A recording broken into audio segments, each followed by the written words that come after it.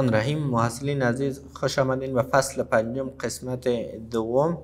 در این قسمت نارمال سازی و یا که نارمال نارمالایزیشن به تشریح می‌گیریم.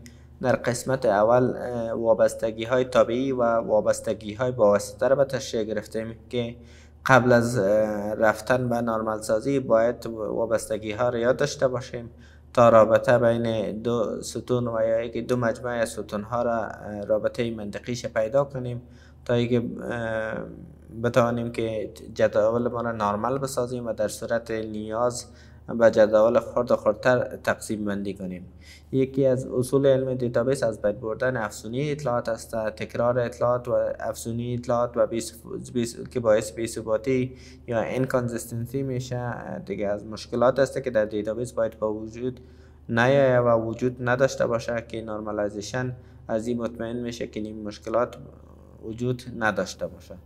افزونی به این معناست که اطلاعات خاص در چند محل مختلف ذخیره شده باشه که این امر موجب میشه که اطلاعات ما در تضاد قرار بگیره و مشکلات را بار بیاره که استخراج دوباره او اطلاعات مشکل شود و در بعض موارد حتی ناممکن شود. در تعریف database گفتیم که database باید اطلاعات منظم ذخیره کنه و با آسانی قابل دسترس دوباره باشه. وقتی که استخراج اطلاعات مشکل مشکل شود مغلق شود و یا که ناممکن بسازه پس ما باید از تو موارد جلوگیری کنیم که normalization این وظیفه را به عهده داره.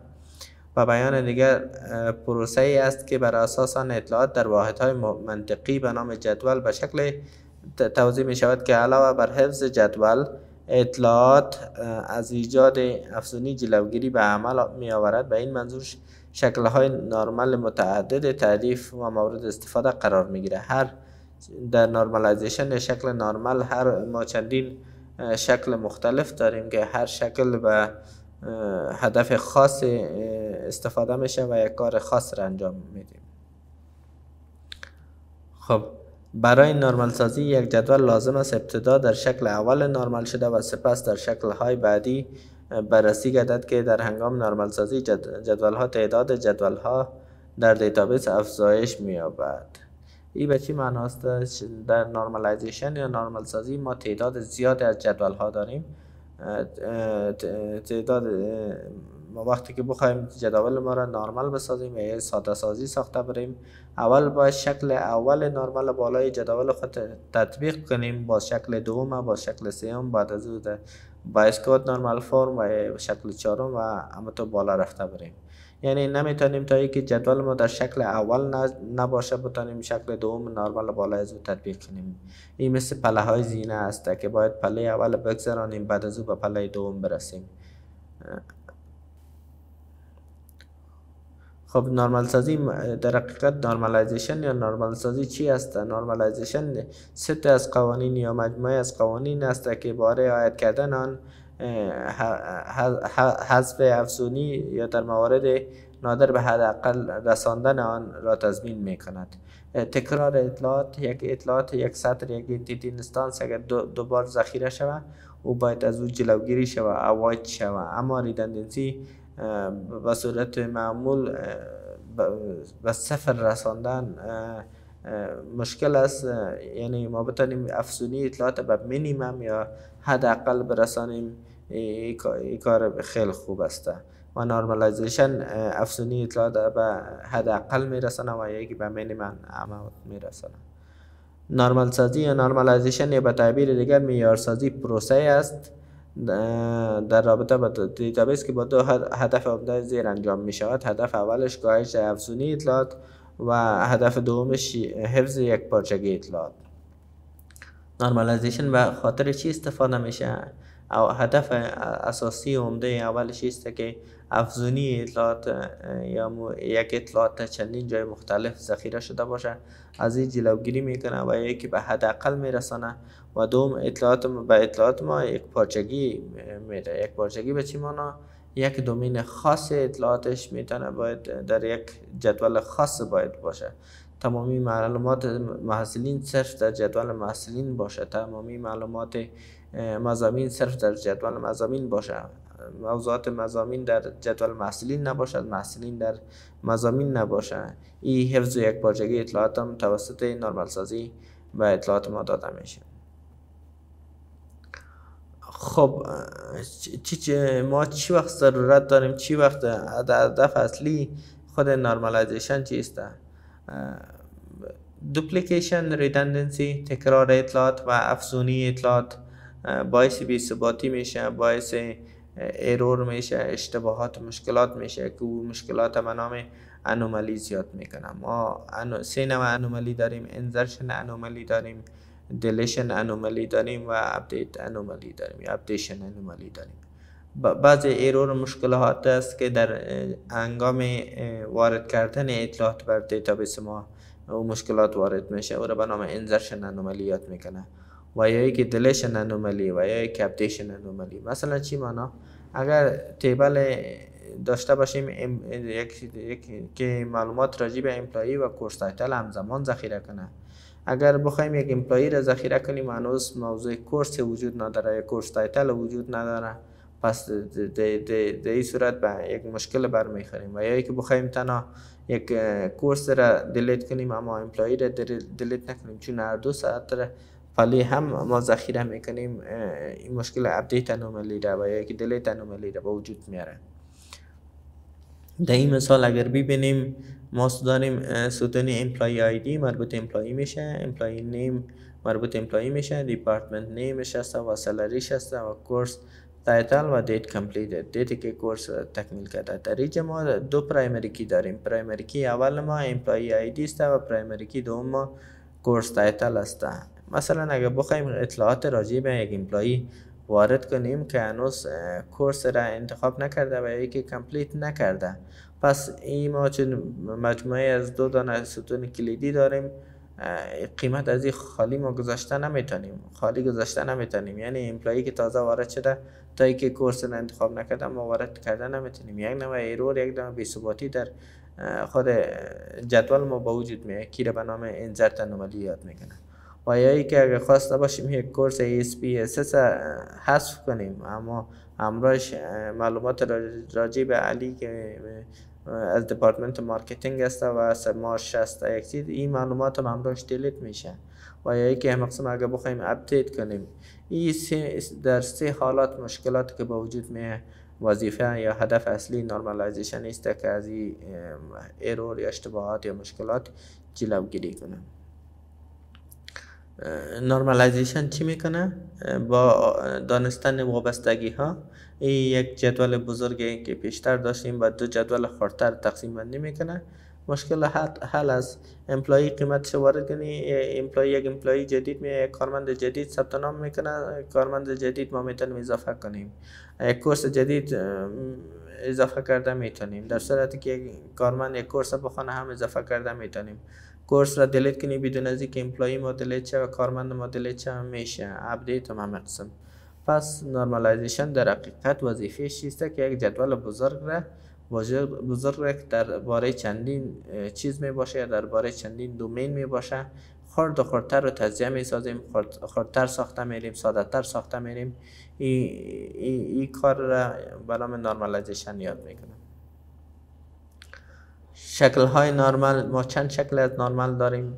شکل اول نرمال است شکل دوم نرمال است شکل سوم نرمال شکل Boyce-Codd نرمال که شکل سه اعشاریه پنج ما می‌تونیم برش بگوییم یا NF می‌تونیم بگوییم.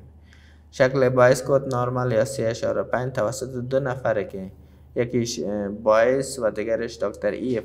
Codd بودن. هر به صورت مشترک یک normal form را پیشنهاد کردن که به نام شکل Boyce-Codd normal form یاد, میشه و شکل چهارم نرمال کد یا normal form شکل چهارم نرمال هم می‌خوانیم انشالله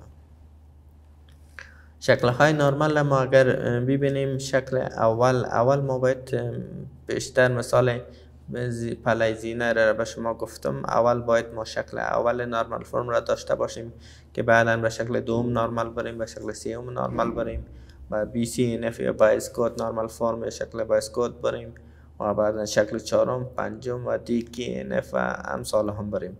هر قدر که به شکل های بالا رفته میریم table ما دیگه جامع و جامع تر شده میره. اما اما حداقل حداقل باید یک دیتابیس ما تا حد سیوم یا شکل سیوم نرمال باید باشه که یک دیتابیس ساده و دیتابیس normalize ساده شده و خوب داشته باشیم در شکل اول نرمال چی گفته؟ در first normal form یا شکل اول نرمال جدول در شکل اول نرمال است که تمامی ستون column های آن یک تا اتمیک ولیو داشته باشه یک قیمت داشته باشه پس در شکل اول نرمال یگانه مشکل است در یک سل در یک خانه دو قیمت باید وارد نشه. مثلا اگر احمد رفته دو جنس خریده دو محصول خریده او باید نشه که احمد خریده کتاب کامه مثلا قیمت دومش قیمت سیمش. از ملتی ولی اتریبیوت باید جلوگیری شود. شکل اول normal form عمومی عمومی امی موضوع را مطرح می‌کنه که هر cell هر column در دیتابیس باید atomic value باشه single value باشه یک تا باشه واحد باشه. و یا جدول در شکل اول نرمال است که شرایط را زیر را داره باشد شرط اول نوع اطلاعات در هر ستون یکسان باشد. طبیعتا دیگه این بعضی بعضی خصوصیات شرایط هست که اگر ایره نداشته باشه هیچ حتی relation و هیچ حتی جدول به او گفته نمی‌تونیم.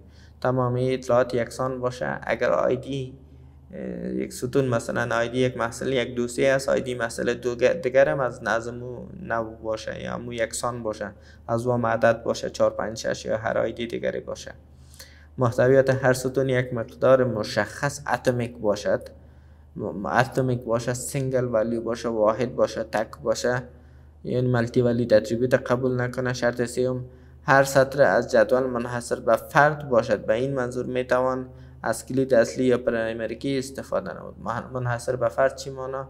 از پرایمری کی استفاده می‌کنیم که تکرار از دوپلیکیشن جلوگیری کنه. راجع به احمد محصل سمستر دوم است. یک بار اگر اطلاعات ذخیره شد بار دوم باید اطلاعات ذخیره نشد. منحصر به فرد باشه دوپلیکیشن در روها با وجود نبیه. هر ستون دارای نام مشخص باشه. مثلا ستون آیدی ستون نام ستون نام پدر ستون مضامین و یا هر ستون دیگری ستون به خود نام داشته باشه. طبیعتا در دیتابیس در جدول ها باید نام باشه. اگر نام, نباشه هیچ به او جدول گفته نمی‌تونیم. ستون ها دیتا در مورد مشخص های جدول را دارا می باشد و به ترتیب قرار گرفتن ستون ها در جدول اختیاری باشد.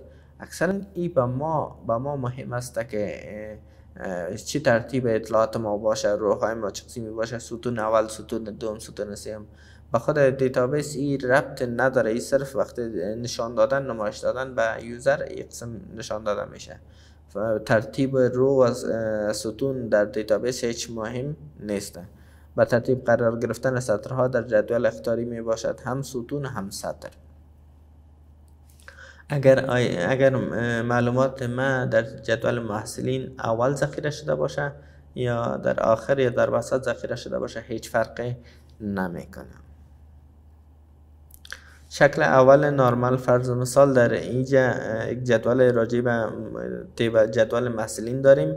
نمبر محصل یا معایدی محصل که پرایمری کیش است نام محصل و شماره تلفن محصل و از کدام شهر است و از کدام کشور است.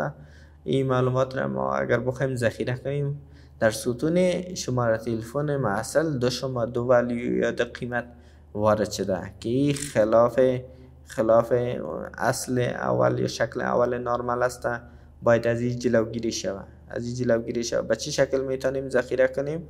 مثلا محصل اول رام قیمت اولش قیمت دومش شماره تلفن اولش شماره تلفن دومش. اما می‌تونین بگوین که اینجا رام دو بار ذکر شد. آه این دو بار ذکر شد اما حداقل اما شکل یک جدول خود داره این که مشکل از این که تکرار افزونی اطلاعات با وجود آمده دو بار ذکر شده این باز در شکل های بعدی مشکنانیم و به جدول مختلف مشکنانیم و در بینشان ارتباط برقرار می‌کنیم. تا از افزونی اطلاعات جلوگیری شود در شکل دوم نرمال در شکل اول نرمال گفتیم. در شکل اول نرمال گفتیم که اطلاعات ما باید اتمیک باشه. در شکل دوم نارمل جدول باید در شکل دوم نارمل است که تمامی ستون های column غیر کلیدی آن وابستگی تابعی به تمام کلید های اصلی داشته باشد. functional dependency این حال به درد خود تمامی ستون های غیر کلیدی وابسته به تمامی ستون های کلیدی باشه اگر یک ستون کلیدی داریم وابسته به یکیش باشه. اگر دو تا داریم وابسته به دو تایش باشه. نه به بخشیان به یک بخشش نباشه به تمامیش باید باشه. جدول در شکل دوم نرمال است که شرایط زیر داشته باشه اول در شکل اول نرمال باشه. اما گفتیم که اول باید قدم اول یا پله اول باید به سر بگذرانیم. دوم تمامی ستون های غیر کلیدی وابستگی تابعی کامل به تمامی ستون های کلیدی داشته باشه. در این دو, صورت ما می‌تونیم بگوییم که جدول ما در شکل دوم نرمال هست.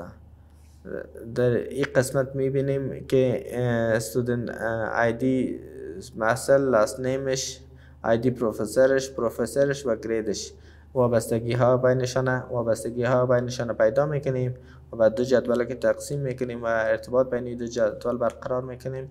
این وظیفه نرمال فرم دوم است. محصلین از تا شکل دوم نرمال فرم در قسمت دوم فصل پنجم به شما به تشریح گرفتیم. قسمت سیوم انشالله موضوعات شکل سیوم با اسکوت و شکل چهارم را به تشریح می‌گیریم. موفق و معید باشین. السلام علیکم و رحمت الله.